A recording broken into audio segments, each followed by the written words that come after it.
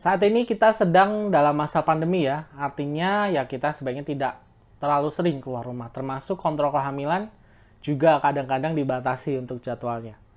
Nah, sebelumnya saya sempat buat video ya tentang kontrol kehamilan di saat masa-masa sekarang ini, terutama saat pandemi ya. Dan di sana juga saya ada tips kalau mau kecek kondisi janin, nggak harus dengan kontrol, tapi bisa dengan gerakan janin yang mungkin bisa Anda lakukan penghitungan gerakan janin di setelah usia 7 bulan ke atas. Nah, pertanyaannya nih, kemarin responnya cukup banyak ya. Dan menanyakan gimana dok kalau misalkan pas lagi hitung-hitungan gerakan janin, janin saya gerakannya menurun atau bahkan nggak kerasa, ini gimana? Tentunya ini harus dibahas ya lebih lanjut pada video kali ini. Kenapa kok gerakan ini bisa menurun atau bahkan nggak kerasa sama ibu? Tentunya nggak semuanya adalah hal tidak normal atau bahaya. Ada juga hal normalnya yang juga saya akan bahas pada video kali ini. Kira-kira seperti apa? Simak video berikut ini.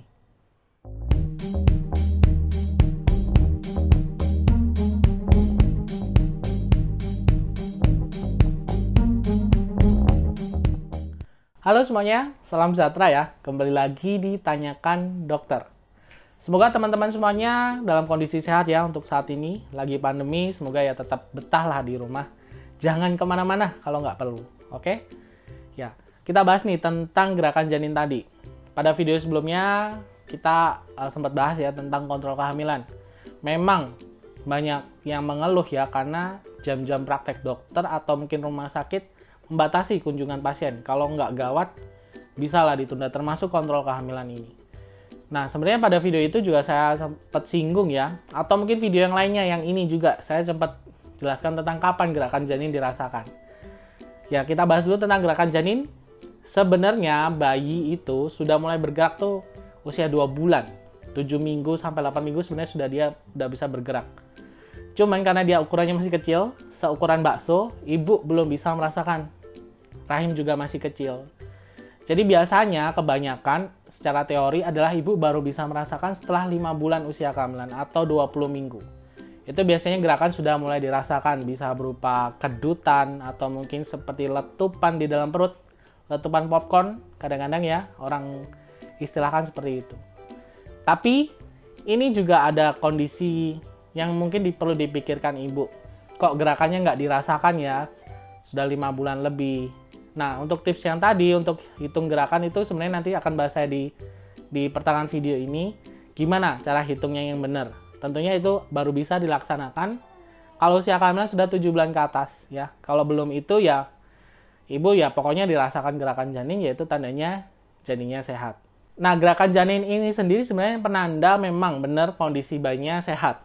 Janin bergerak artinya saraf dan juga otot tulangnya ini berfungsi dengan baik gerakan nggak harus dengan tendangan ya. Kadang dia memutar, berguling, atau mungkin tang hentakan tangannya. Itu juga bisa kita sebutnya namanya gerakan. Seperti tadi, gerakan biasa dirasakan setelah 5 bulan. Ada juga yang lebih cepat ya. Biasanya kalau kehamilan sudah hamilan kedua atau hamil ketiga, biasanya 4 bulan pun sudah kerasa. Atau bisa juga mundur. Misalnya hamil pertama, ibu masih belum terlalu peka, baru pengalaman kadang-kadang masih belum merasakan apakah itu gerakan atau enggak. Akhirnya ya baru bisa dirasakan setelah misalnya 6 bulan. Nah, gerakan ini sebenarnya ibu bisa rasakan karena adanya kontak ya. Kontak dengan dinding rahimnya ibu. Jadi ini kan perut nih. Kemudian ini ada rahim. Ada bayi di dalam. Kalau dia dorong si rahim ini membentur ke dinding rahim kemudian kontak dengan perut, ibu akan merasakan gerakannya ini. Cuman ada beberapa kondisi umum normal yang kita bisa bilang itu normal. Kenapa gerakannya kok nggak belum kerasa? Sudah lima bulan, enam bulan belum kerasa. Yang pertama adalah posisi dari ari-arinya, ya. Kalau mungkin ibu pernah istilah posisi ari-ari, dengar-dengar nih, posisi ari-ari anterior, ya. Anterior artinya di depan ya. Jadi kalau rahim itu kan ada di bagian belakang, ada depan ya. Nah, kalau misalnya di uh, anterior itu di depan, dia nempelnya ari-arinya di depan. Normalnya ari-ari nempel ya bisa di depan, di atas, atau di belakang. ya Di belakang bagian rahim. Kalau dia di depan, gerakan bayi agak sedikit teredam. ini yang biasa dialami oleh ibu-ibu yang nggak begitu merasakan. Mungkin aja ari-arinya letaknya di depan, ya. Jadi benturan kontak langsung ke bayi dengan rahimnya ini teredam oleh adanya ari-ari. Ya ini nggak ada masalah. Cuman biasanya usia 6 bulan ke atas atau bahkan 7 bulan baru ibu bisa merasakan gerakannya. Dan itu pun biasanya gerakannya nggak begitu jelas kerasa. Kondisi normal kedua adalah bayinya lagi tidur ya. Ya normalnya seperti kita juga bayi ada jam tidurnya. Cuman siklus tidur bayi ini nggak lama. Paling dia 30 menit sekali, 20 menit sekali atau ya maksimal satu jam sekali lah dia tidur dan terbangun. Makanya kita bisa bilang kalau misalnya nih, kok pas dia kok nggak gerak, ini mungkin aja dia tidur ya. Atau sebaliknya, bayinya aktif, ibunya yang tidur, jadinya kan nggak kerasa. Tentunya ini juga bisa mempengaruhi gerakan bayi itu tadi. Tapi umumnya ya, kalau bayi paling, kalau kita hitung ya, sekitar 2 jam itu bisa gerakan 6-10 kali sebenarnya itu merupakan hitungannya normal. Atau gampangnya setiap 10 menit sekali lah. Paling rasa minimal satu kali. Itu kalau pas dia lagi terjaga. Kalau lagi tidur mungkin akan bisa lebih jarang juga. Hal normal juga adalah ibu yang komposisi lemaknya ya. Atau mungkin agak gemuk lah kita bilang. Lebih banyak lemaknya. Jadi eh, gerakan itu tidak begitu ibu bisa rasakan karena terendam oleh adanya lapisan lemak yang terutama di daerah perut itu juga bisa dialami sehingga ya nggak begitu kerasa gerakannya. Kondisi yang lainnya adalah posisi bayinya, ya. Posisi yang gimana nih maksudnya? Jadi posisi bayi itu kan bisa ya terserah dia sih sebenarnya karena dia bisa bergerak.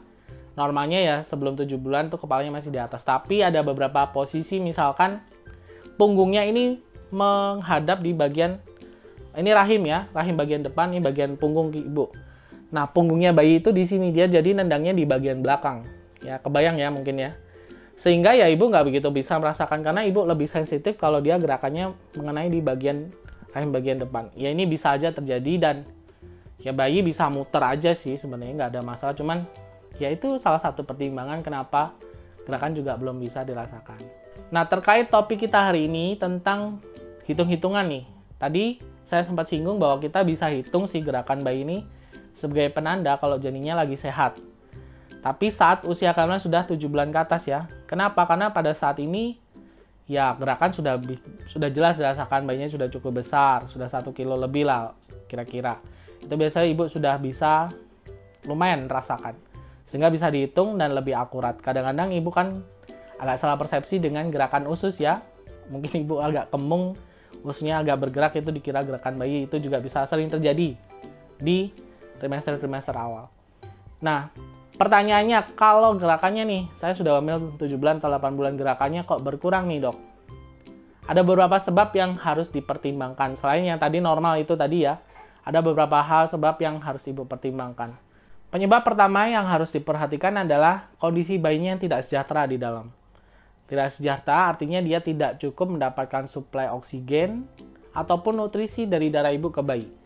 Ini masalahnya cukup banyak ya, bisa dari ibunya yang mungkin anemia atau kurang nutrisi, ibunya yang mengalami sesek ya, kurang oksigen, atau dari ari-arinya yang menghubungkan, misalnya ari-arinya ada pengapuran, penuaan, atau di tali pusatnya misalnya kelilit, kebelit, atau dari bayinya itu sendiri. Ini cukup banyak. Biasanya ini akan ditandai dengan gerakan bayi yang menurun banget. Mungkin dalam seharian 2 jam, 3 jam, 4 jam, 6 jam, bahkan 12 jam nggak kerasa gerakannya. Kalau kondisi ini, ibu harus segera periksakan. Kondisi kedua adalah di mana si bayi ini ada pengaruh dari efek obat-obatan yang mungkin ibu konsumsi. Obat-obat nyeri, ibu yang minum alkohol, sebenarnya kan nggak boleh tapi ya ada aja sih.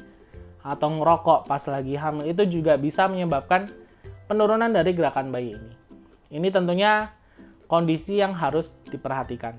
Kondisi ketiga mungkin aja ada kelainan pada bayinya ya, kelainan pada struktur tulang atau otot. Tapi ini biasanya bisa dideteksi pas lagi kontrol kehamilan sebenarnya. Cuman kan kalau sekarang ini lagi pandemi kan biasanya kontrolnya dibatasi. Ini bisa aja ter terjadi ya, pertumbuhan bayinya nggak ada nggak bagus, mungkin ada kecacatannya. Itu juga bisa menyebabkan gerakan bayi ini nggak kerasa berkurang atau bahkan menurun ya. Nah, kondisi berikutnya, ketubannya terlalu banyak ya ketuban terlalu banyak biasanya harus bisa diceknya pas dengan USG kita kadang-kadang sulit untuk menentukan ketuban banyak tanpa pemeriksaan dengan USG tapi bisa aja. Uh, gerakan bayi ini nggak begitu kerasa atau menurun karena ketubannya yang terlalu banyak. Ya ini kalau ketuban banyak juga sebenarnya agak bermasalah. Karena kan otomatis uh, selaput ketuban teregang mudah pecah banyak aktif banget di dalam dia bergerak tapi ibu yang nggak kerasa. Ini juga bisa aja terjadi Lalu solusinya dok, tentunya ibu harus hitung-hitungan ya. Hitung ini sebenarnya gini, gampangnya ibu harus cari posisi yang nyaman, yang tenang, di mana ibu bisa duduk atau berbaring. Hitung dalam 2 jam, hitung gerakannya kerasa berapa kali. Kalau normalnya ya 10 kalian ya, atau setiap 10 menit sekali lah. Nggak aja seperti itu. Kalau 2 jam, ibu merasakan gerakannya 10 kali, baik itu kedutan atau gerakan berulang, sebenarnya ini kondisinya bagus. Tapi kalau kurang dari itu, coba tips berikutnya. Ibu bisa makan dulu. Atau minum minuman yang manis atau yang dingin juga nggak apa-apa. Supaya merangsang gerakannya. Buat bunyi-bunyian di perut. ya. Apalah bunyi musik atau piring diketok. Supaya dia ada indera pendengaran. Dia bergerak kalau misalnya lagi tidur. Atau mungkin ibu rubah posisi. Agak digerakin perutnya, jangan terlalu kenceng. Kayak dibangunin gitu bayinya itu bisa ibu coba dulu. Kalaupun sudah melakukan hal itu, bayinya nggak gerak juga, ini untuk kehamilan di 7 bulan ke atas ya. Bayinya nggak gerak juga, sebaiknya ibu harus periksakan. Meskipun lagi pandemi, kondisi itu merupakan bisa bilang uh, tanda-tanda uh, ada masalah, ibu harus periksa. Nggak apa-apa, lagi pandemi, tetap periksa aja, karena kita nggak mau ada apa-apa dengan si bayinya dan juga ibunya. Gitu ya, jadi memang ada kondisi normal, ada yang nggak normal, gimana cara hitungnya dan tipsnya gimana. Tentunya ini membantu ya supaya membantu ibu-ibu yang lagi jarang-jarang kontrol karena memang dibatasi supaya bisa tahu lah setidaknya screening kondisi bayinya gimana. Semoga bermanfaat. Kalau masih ada yang bingung boleh tanya di sini, saya sempatkan untuk bisa jawab ya. Semoga kita bisa sharing juga untuk teman-teman juga boleh komen yang pernah mengalami kondisi serupa di mana bayinya kok jarang aktif tiba-tiba. Semoga bermanfaat. Sampai ketemu lagi di video berikutnya.